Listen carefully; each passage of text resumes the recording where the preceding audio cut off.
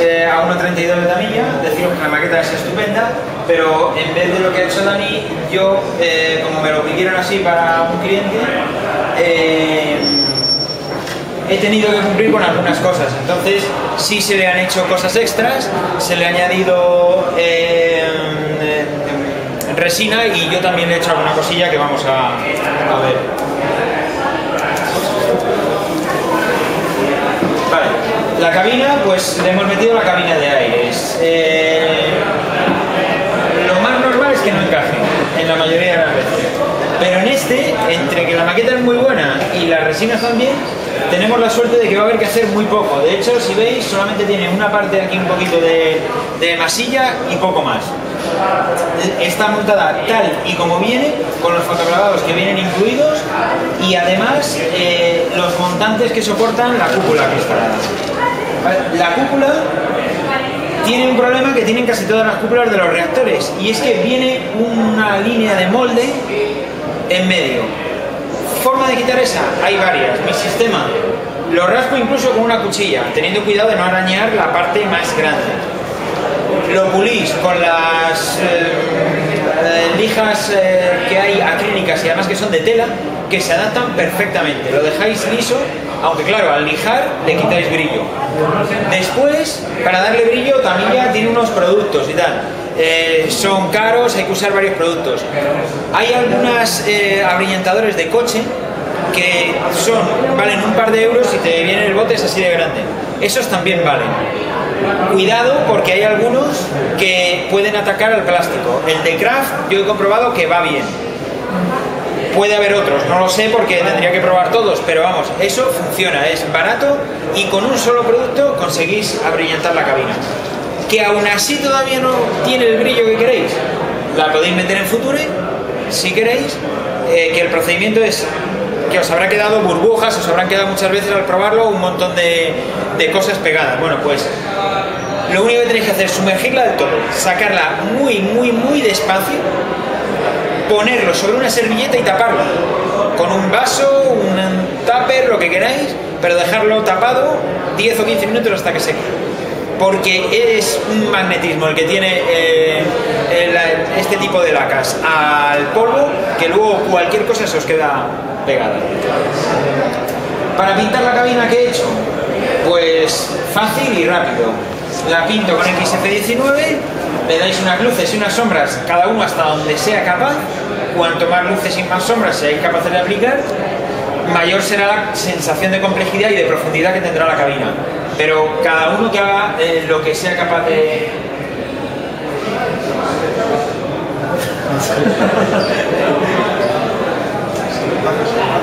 Esto, esto es un cañón lo que tengo aquí. Esto se llama boicotea. La próxima vez tírale el cable. Bueno, eh, yo me gusta montar todo lo que pueda en la cabina, es decir, eh, veréis que la palanca está, puesta en este caso, Eh, todo el fotograma está puesto, yo todo lo que pueda pegar lo pego, para pintarlo todo y que el conjunto sea más homogéneo. Eh, la única característica que tiene el F16, como veis, es que la palanca va en la, en la derecha. Yo he llegado a ver un F16 que dirían, eh, le falta la palanca y se la han puesto en el medio. El asiento también es de resina. A mí me gustan los asientos que vienen con los, asient- con los atalajes ya eh, troquelados sobre la resina.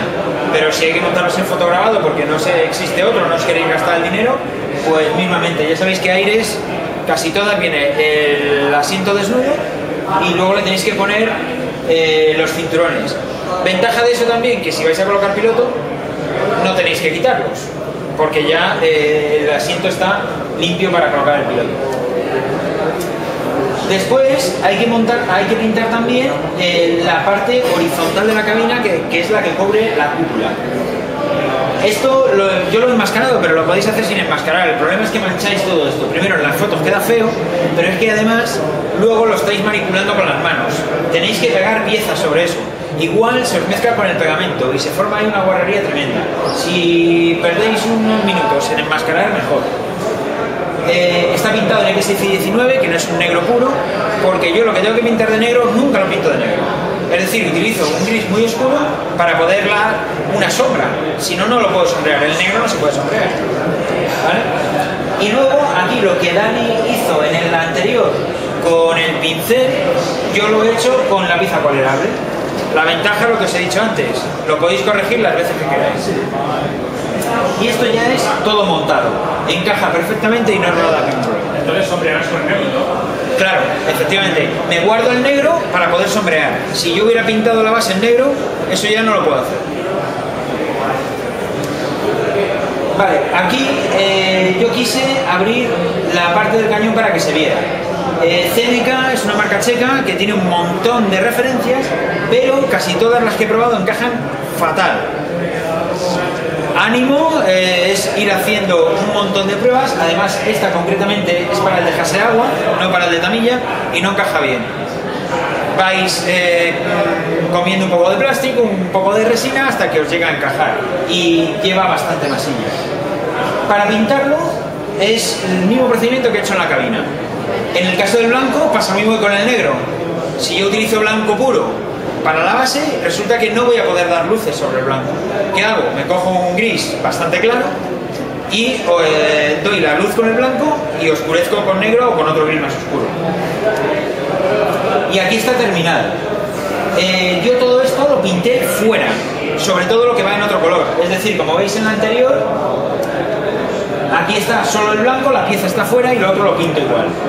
Tened cuidado porque en los aviones modernos es eh, bastante habitual ver piezas que no son completamente mates en los interiores, que son satinadas, muchas de ellas, las cajas, algunas cajas, y el tambor del cañón es un caso claro. Entonces simplemente prestar atención, además tenemos la ventaja de que estos aviones tienen mucha información y además a color. Tenéis vídeo, tenéis libros, tenéis fotografías en internet, tenéis lo que queráis. ¿Vale? Y lo más complicado de esto es el marco donde se atornilla el, el panel. Porque esto es de fotografado y es muy fino. Entonces tenéis que tener mucho cuidado y pegarlo muy bien. Porque si no, ahora cuando yo coloque la mascarilla y enmascare esto y se quede pegado, igual al retirar la mascarilla, si no está bien pegado el, el- la pieza de fotograma, me la voy a llevar. Y esto es lo mismo que he hecho con el cañón, pero aquí no venden ninguna resina, entonces lo he hecho yo. Lo primero que hay que hacer si queréis hacer alguna bahía abierta es el cajeado, es decir, donde va, donde embuten todos los instrumentos. Una vez que está, ya tengo hecha la caja y me he asegurado de que todo encaja y he colocado los montantes hechos con varilla de Evergreen, he hecho los agujeros donde atornillan y el siguiente proceso es empezar a detallar todo esto. Aquí parece muy complejo, pero es relativamente fácil, lo que pasa es que se tarda bastante. Lo primero que hago es colocar las cajas grandes, todo lo que sea lo más grande y asegurarme de que entre. Luego le añado eh, los botones y las conexiones de los cables. Y lo último que coloco son los cables. Y además lo pego todo antes de empezar a pintar. Porque en el momento en que tengáis que empezar a meter cables que luego hay que forzar, que hay que doblar, eso lo vais a despintar cuatro o cinco veces fácil. Entonces, para no trabajar tanto, yo primero lo tengo todo pegado y luego lo pinto. Es cuestión de echarle otro poquito de tiempo, que está pintado el gris con aerógrafo y el resto con, con un pincel y con paciencia. ¿Vale? Aquí veis otro paso del lado contrario que también está hecho igual, vuelvo a hacer el cajeado, vuelvo a detallar todo y lo pinto. Y eh, en este caso, eh, estas dos tapas que están más pegadas al cono del radar eh, no se desmontan del todo, sino que tienen bisagras. Con lo cual, la pieza original de la maqueta la tengo que conservar, porque luego la necesito poner. ¿Vale? Con lo cual la tengo que conservar y además afinar, porque el grosor de un avión de estos, eh, la, la chapa es muy muy fina. Entonces tengo que procurar dejar la pieza de, de la maqueta lo más fina posible. En el caso de los pozos, sí que venían los pozos eh, y tenía disponible la, mejora de resina, pero también es de Chainmaster y encajan fatal. Así que como veréis tiene bastante masilla, ¿vale? Pero eh, me evita el trabajo propio. Eh, Jaime, sí, tápate los oídos porque esto no te va a gustar con toda la resina que lleva. Eh, luego, ¿qué tengo que hacer? Montar el tren de aterrizaje. Es incómodo de trabajar porque el tren de aterrizaje este avión luego tiene un peso importante y la maqueta queda una cosa así. ¿Qué pasa? Que es de metal. Y pegar las cosas de plástico sobre el metal siempre es un engorro. Hay que usar ciano y tal. Con lo cual vuelvo a montar todo otra vez para usar el ciano sobre el metal desnudo y no pintado, porque si no la voy a liar. Para pintarlo, el mismo sistema que he usado en el interior del cañón lo utilizo para la tapa, eh, o sea, para el- el- las patas del tren de aterrizaje, los cables en pincel y las ruedas, igual, la llanta en blanco, todo utilizando el mismo proceso. El tren de aterrizaje, pues vuelta a repetir otra vez lo mismo, no lo voy a contar, pero vamos, es eh, luces y sombras, base luces y sombras, pintura pincel, eh, si queréis darle más volumen le podéis dar clavado de óleo o de cualquier otro producto que viene ya disuelto de acá o de mijo, de lo que queráis. Eso sí, dejarlo secar bien, porque cualquier cosa que utilicéis por encima, si le vais a dar un pincel seco para resaltar aristas, os lo vais a llevar. O sea que ese paso tiene que estar bien seco. Y luego ya lo monto. Eh, el problema de no poner el tren de aterrizaje antes es que ahora a la hora de manipularlo y está el avión cerrado, ¿qué hacéis con él? Cuando lo tenéis que dejar sobre la mesa, ¿cómo, cómo lo sujetáis? Para que no se os arañe luego la pintura. Pues yo decidí poner el tren de aterrizaje ya, dejarlo fijo y envolverlo con papel de cocina. Junto con la mascarilla.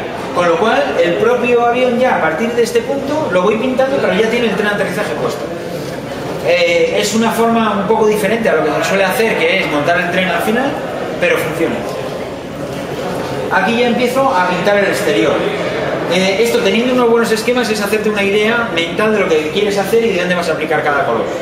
Eh, el problema de este avión es que lleva la deriva en un color, lleva otro avión intermedio para el resto del fuselaje, el cono en otro, la parte delantera en otro. Entonces, lo único que hay que tener es un buen esquema y paciencia para ir pintando cada cosa. Apenas se han usado mascarillas, excepto aquí, el resto está pintado a mano. Como el avión es grande, además no cuesta mucho.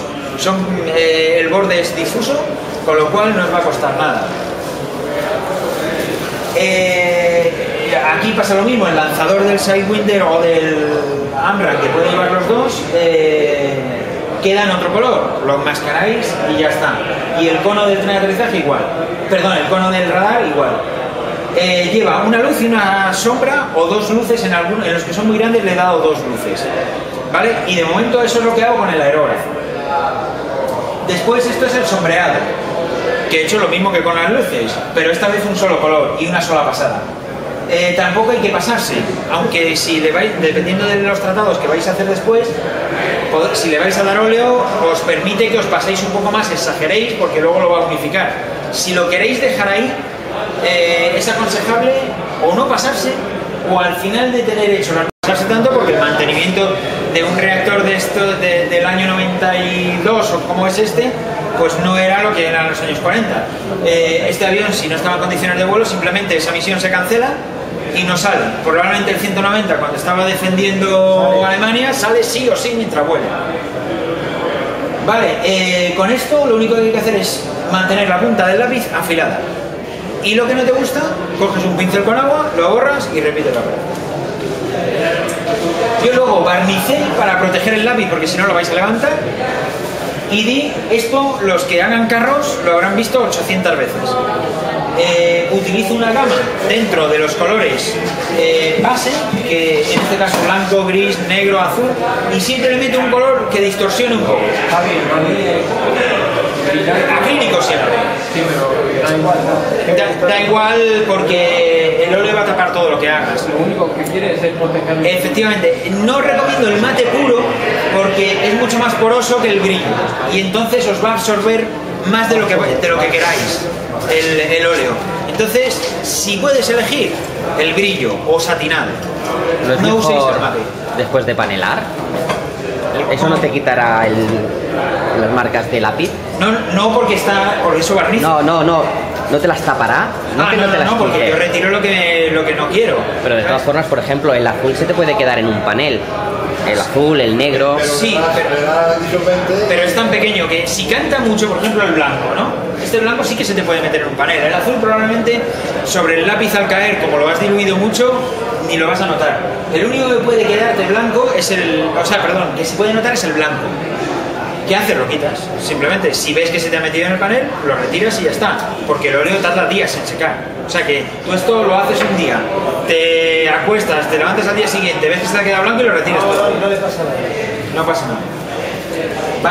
Y luego también podéis utilizar eh, mezclas de marrones o marrones oscuros en determinados sitios que os interesa una suciedad especial, como los paneles que se están retirando constantemente porque el mecánico lleva las manos sucias, o acumulaciones donde sale parte de hidráulico o de cualquier otro líquido o partes que van engrasadas y el, aire lo arrastra. En este avión además tienes que hacer trazo- trazos finos porque es capaz de volar a Max 2 que no es lo mismo que un avión de la Segunda Guerra Mundial que vuela a 400 o 500 kilómetros por hora.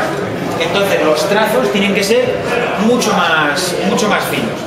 También tenéis la opción de añadir un poquito de barniz brillo si lo que queréis es imitar alguna sustancia que tenga aceite. Le echáis una gotita de barniz brillo al óleo, siempre en esmalte, claro, no utilicéis el acrílico y ya está. Hay que jugar, hay que jugar con los barnices también.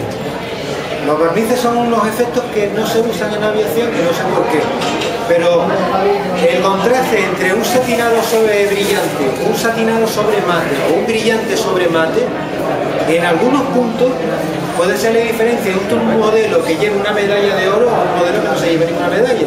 Porque la pérdida de fluido como el aceite, en un mismo trazo de aceite, yo estoy la parte de abajo de un motor y tengo aquí una junta aquí. Este motor tiene pérdidas de aceite.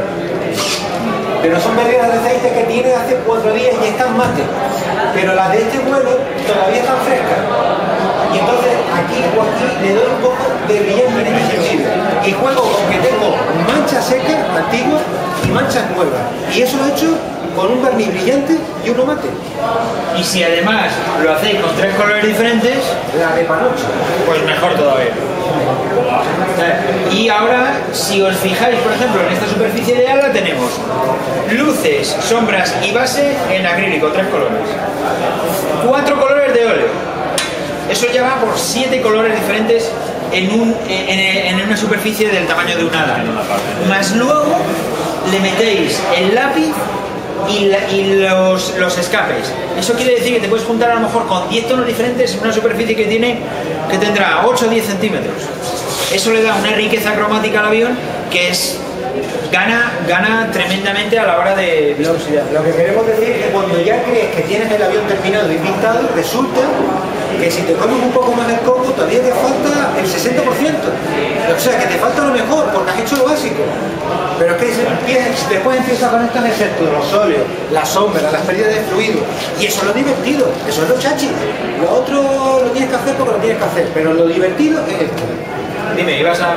Sí, yo me refería que si en reactores todo este trabajo no es no, no nos lleva a un acabado que es lo que se espera que se vea comparado con el avión real, porque en aviones más antiguos sí pasaba todo eso, pero yo estoy harto de ver fotos de, de reactores y las maquetas de los compulsores y no son iguales. O sea, no sé si los maquetistas nos, nos dedicamos a hacer lo que esperan que hagamos. A ver, vamos a ver. Tened en cuenta que un avión como el F-16 a nosotros nos parece una chorrada, pero a lo mejor lleva 30 años en servicio. ¿Vale? O sea que no estamos hablando de un avión que duraba, que, que al final todos, por unas razones o por otras, al final llegan a tener todos estos matices. El avión de la Segunda Guerra Mundial porque no tenía mantenimiento, porque los materiales eran peores y porque volaban en cualquier condición. Duraban 3 o 4 meses, pero al final el desgaste era este. Estos aviones llevan en servicio 20 o 30 años. Lo que no le ha pasado al otro en 3 meses le ha pasado a este en 20 años. Claro. Además, Tiene, es un piso puro, tiene 21 tonos de Claro, además, a, eso añadidle. eh, el aire al pasar por aquí produ- produce una fricción a dos veces la velocidad del sonido, eh, produce calor, produce erosión, produce de todo. Entonces, pero eh, no existe en el mundo del modelismo que nos vamos contagiando unos de otros y queremos hacer. Los de los tanques se lo pasan bomba. Y mi avión a ver, es más- mucho más Pero porque somos unas cabezas cuadradas. Por eso que es lo que he dicho yo antes. Yo cojo el avión, que es lo que está diciendo Javi, yo cojo el avión, lo pinto, lo manero, le saco una luz aquí, una luz aquí, le pongo la calca y me voy a ¿Y tomar pre- mola? y presento el avión. No, porque es como si el del carro lo pintara, le pusiera la calca, cogiera el pincel y hiciera desconchón, desconchón y tiro. No, resulta que cuando el tiro terminó eso todavía le queda el 80%, que es cuando se ve el carro. Pues nosotros lo mismo. El F-16 dice, dice Javi, lleva 30 años, muy bien, pero es que a lo mejor lleva 8 meses en Afganistán. Al sol, 50 grados. Y está el avión allí parado. ¿Por qué? ¿Por qué no lo puedes hacer? Si eres capaz de hacer un avión recién salido de fábrica que está brillante, vale tus cojones. Pero si me haces un avión que parece que está, se está, que cayendo a cacho, pues también me vale. La cuestión es que no hay que cerrarse porque es un avión, tiene que ir limpio. Hombre, tampoco lo hagas como un tanque porque no. Pero llegar a un, llegar a un límite en que diga, ahora me gusta. ¿Y cómo se llega a ese punto? Viendo fotos. Hombre, yo me... Viendo fotos. Si tú ves la Poniéndolo en un background también, no es lo la mismo- poniéndolo en su background, no es lo mismo salido de Estados Unidos, que no ha volado ves 100 horas, que uno que está en la foto de combate, lo que, que es de Y no es lo mismo, eres, eh, no es lo mismo. libre de hacerlo Yo y presentarlo en la época la la que tú quieras, exacto. Yo he visto los Pumas. He visto lo los tú del digas SAR. F-16, Los Pumas del SAR 1992, y están F-16, 2005. Cuando estaban en estaban- no llevará, no llevará al mismo... Está claro. Entonces, si lo que preguntáis es si una cosa es correcta, como tú dices, y esto, pienso que las dos son correctas. No, no, yo no digo que sea corrección, sino que si no, si no estamos creando ya una especie de metalenguaje, que hacemos la maqueta como se debería ver la maqueta. A ver, yo creo que lo que se trata es de crear, eh, de, de dar un paso más y tratar de conseguir una serie de cosas que antes no se hacían. Los de los carros pasaron por ellos y nos llevan cierta, cierta ventaja porque pasaron por ello hace años.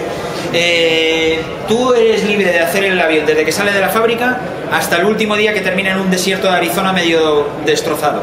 Lo que quieras es válido. Eh, ahora, que la corriente te puede arrastrar porque estamos viendo una serie de productos o de publicaciones. Si no hay cosa más enriquecedora que ver un avión, el mismo avión en un concurso de dos maneras diferentes.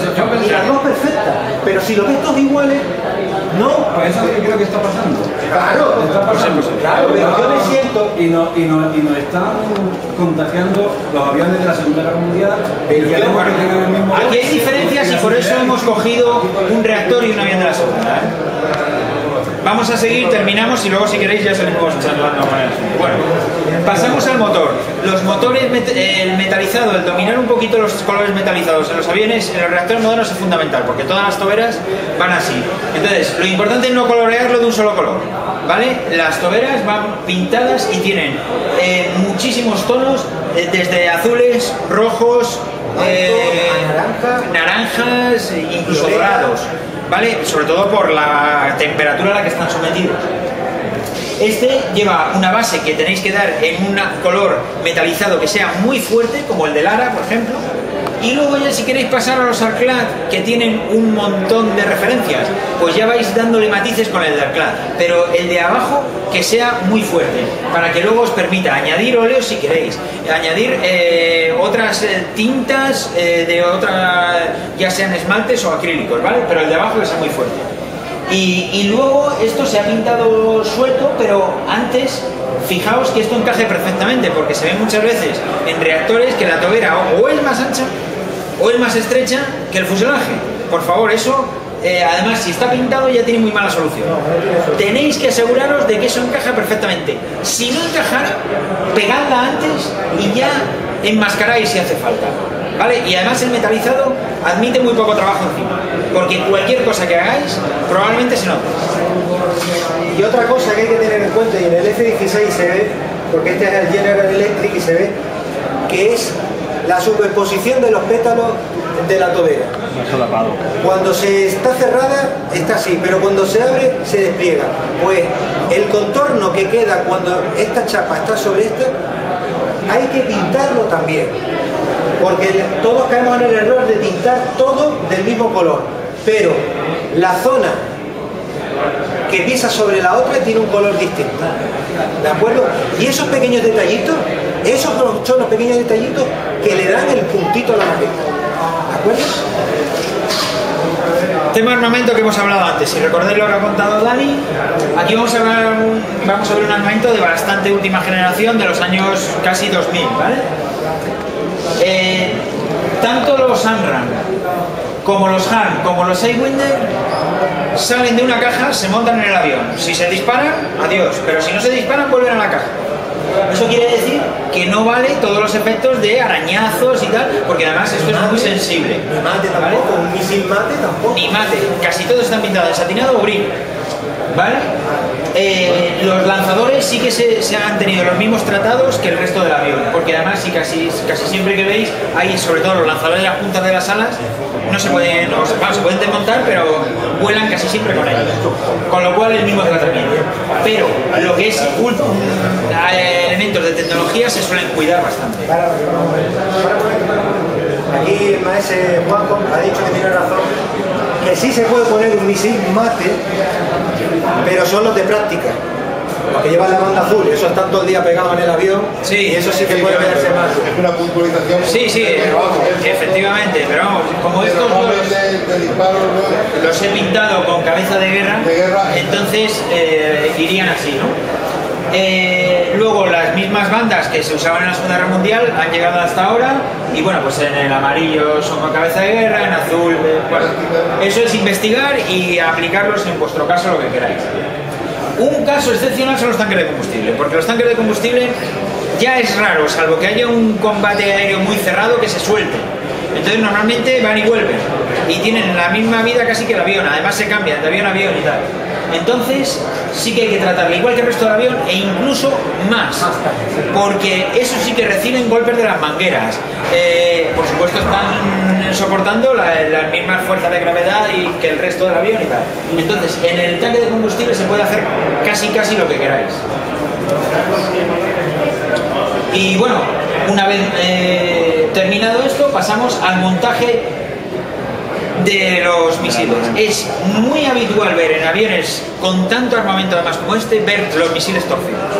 O sea, en planta, un misil así y el otro así. O vistos de frente, que formas una X, Están caídos, están. Si veis que no encajan bien, metedle un perno. Haced lo que queráis, pero que el misil quede bien pegado. Además, en los transportes, cuando vamos y volvemos de los concursos, es muy fácil coger un bache. Y eso se mueve. Entonces, el ángulo de la rueda, el ángulo de la rueda recto, a no ser que sea un avión que tenga a lo mejor un Draken que tiene el tren así, pero recto. No una, una- no una rueda así, la otra tendría para adentro y el tren delantero así campado. Y el- la X del misil así y en pista en planta así campado. Coño, ¿y ¿cómo va el avión? ¿Volando así? de- dedicad, dedicad el tiempo que sea necesario a ajustar perfectamente el, el armamento de los aviones modernos. ¿vale? En los aviones de la Segunda Guerra Mundial se suele notar mucho, llevan una o dos bombas y bueno, tiene más base, pero en estos, además, este tiene que ir alineado con este y este con este y este con este. Y mirar la configuración De del los- avión. del armamento. Porque muchos aviones, sobre todo Trumpeter, dice el avión no sé qué, y meto todas las bombas que yo he hecho y dices tú, joder, esta bombaca me gusta, y resulta que esa bomba nunca voló con ese avión. Claro. Y has cargado. O puede ir en este soporte, pero no en el de al lado. Efectivamente. ¿Vale? Porque eh, estos, además, cada soporte tiene una capacidad de carga diferente. Y además, como el misil, digamos, que va conectado con el avión, eh, no todos los lanzadores pueden disparar el mismo tipo de misil. ¿Vale? O sea que cuidado en poner, por ejemplo, el lanzador antiguo y meterle el AMRAM aquí, con el lanzador antiguo del Segwinde, porque eso no lo puede. que son no lo podría pero que, y otra cosa, los de la Fuerza Aérea no tanto, pero los de la Marina sí que les gusta mucho tener una configuración asimétrica. Eso quiere decir aquí un tanque de combustible y aquí una bomba de 2000 kilos, de 2000 kilos aquí dos bombas tal. Eso da una vida, pero basándose en fotos, no porque a mí me dé la gana y me resulte bonito. Si tú ves una sola foto así, ya puede venir Dani Zamarride el pedante y este creído y te no, hay fotos, muerto.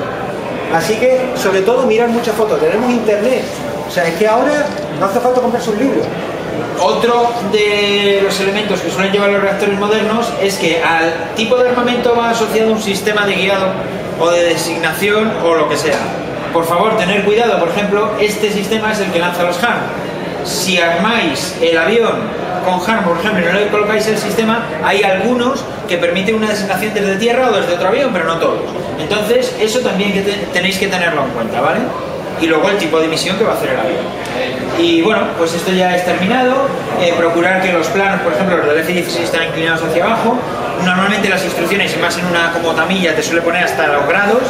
Yo lo que hago es suelo buscarme un botecito que sujete la punta de la altura que necesito y así los dejo pegados, pero un par de horas. No andéis por las prisas de pegar el timón y que ya, ya quiero seguir pegando la bomba. Levanto el avión y ya cuando quiero darme cuenta el timón está torcido. Pero yo sí tengo prisa porque soy un desesperado. Entonces yo lo que hago es la técnica de Javi y pongo dos gotitas de, cian- de- de ciano en gel.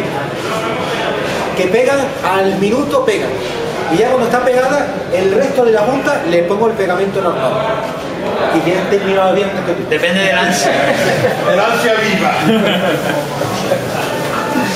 Y eso es una pasada, no digas más.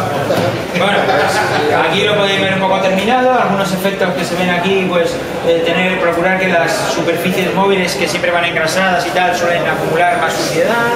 Otra cosa que se nos olvidaba, hay que integrar la calca con el acabado del avión. O sea, no me sirve que el avión tenga este degradado total y la banda esta roja, perfecta, limpia, pulcre, porque eso pasa veces. Atravesando el típico panel que habéis marcado con el lápiz, de repente pasa la calca, está, no hay panel y cuando continúa ya vuelve a aparecer el ¿Qué le puedes poner encima? ¿Óleos o...? Óleo, óleo, te aplicas una... No, cuando... Cuando barnizado encima, ¿no? Todo. La Hasta, hasta el lápiz le puedes dar encima, una vez que tienes protegida la calca bien pegada, le puedes dar Pero es que te da rabia que tú ves una maqueta como esta y dices tú, ocho, qué bien, coño, va bien, va estupendo, y después te encuentras la tontería de la calca, de que no le ha hecho el sombreado, el sombreado de- del pétalo del motor. Y claro, ya empiezas a coger empiezas a quitar puntos, empiezas a quitar puntos. que- Claro, después vienes tú y dices, joder, se ha hecho una maqueta de puta madre. Ya, pero es que este es un cabrón y yo soy mal nacido. Y entonces hemos cogido y hemos dicho, mira, plan, plan, plan, plan. Y el que tienes al lado sí lo ha hecho. Así que le escupes al lado y a nosotros nos da el billete. ¿Qué pasa? Que también hay que tener en cuenta detalles como los flaps que Javi ha visto aquí. Este flap roza con esta parte del avión, con esta parte del fuselaje. Hay que hacer esos efectos de, de rozadura. En el Tomcat, o en el Tornado, o en el Flogger, cuando abren y cierran la sala, se ve el rayado de la goma. ¿De acuerdo? De- Deja una mancha negra. Hay que ver muchas fotos, si es que tenemos internet, en vez de ver tanta tirada fresca, ver un poquito más de avión. Puede, puede. ¿Qué? El tema de los misiles, se ven muchos aviones muy de puta madre y luego ves un misil y ves unas aletas de un misil de un horror de, de un milímetro de vuelta. También. Afinar las aletas, Eso- eso, canta un montón. No lo he comentado porque Dani lo ha dicho antes, son pequeñas maquetas dentro de la maqueta más grande. Entonces hay que dedicarle. Un misil de cava, un Seawinder, ves la- son pequeñas y hay algunas que son de un milímetro. Eso, un eso, hay que afinarlo, eso- no, como dice Juanjo, yo lo que hago es que cojo la aleta, le cojo una plancha de plasticar muy fina, la pongo así, pongo la aleta, la pongo así y dibujo el contorno. Y ahora lo único que tengo que hacer es quito esa pieza sobre una plancha un poquito gorda, ¿vale? Que no la puedo doblar. Y esa la cojo de patrón. Entonces cojo después la parte recta de la plancha, pongo la aleta, contorno, pongo la aleta, contorno, pongo la aleta, contorno, pongo la aleta, contorno. Y ya cuando tengo los cuatro contornos, cojo el cúter, la recorto, ya tengo las aletas. Cojo el misil, este es el misil redondo, y aquí viene la pieza de plástico. La corto, la lijo, y aun lijándola, se queda aquí la marca del corte. No la borro, coloco la aleta que he cortado y que he hecho. ¿De acuerdo? Y dejo secar. Que Y después la pongo de, mucho, ¿eh? claro, la pongo de frente En una la pongo de frente y ya voy corrigiendo las aletas que no me queden así, sino que me queden Alineando que tenga ángulos de 90 grados. Es un trabajo de chino vale, un trabajo de chino fudeiro, pero al final te queda perfecto. No se nota, al final no se nota, pero nadie se da Bueno, cuenta de pues, que... pues esto es lo que ha habido. Si queréis alguna pregunta o consulta de esto o de, o de quién va a jugar la final de la Champions o cosas de esas, Sentirlo pues- mucho porque montábamos con el proyector que se viera que se ve todo mucho más grande, porque en la tele esta se ve muy poquito, pero bueno, se ha hecho lo que se ha podido. Así que os hemos mostrado una maqueta sencillita de, de- de caja, lo que se puede hacer, y después una maqueta con todas las resinas y todas las mejoras que se le puedan poner. Los dos extremos. ¿De acuerdo? Si queréis alguna pregunta, si queréis pagar algún sobre, lo que sea, estamos aquí abiertos en billetes de Los 20. jamones por correo, que no estamos mañana para cargar con ellos. Así que nada, muchas gracias por venir y esperamos veros el año que viene. ¿De acuerdo? Venga, muchas gracias.